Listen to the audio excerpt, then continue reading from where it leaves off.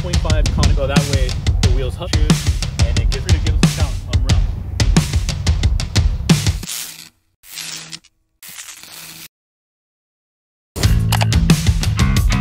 Hey guys, I'm Ralph with Tires Wheels Direct, and behind me we have a Toyota CHR. In this setup, we did the American Elite Guardian in the size 17.8, 30 offset, 501 14.3, and in order to achieve this ride, this fitment will be 225 60 17 Toyo AT3. We added a set of 12 by 1.5 conical seat lug nuts with hub rings 73 to 60.1, so that way the wheels hub centric and it fits proper.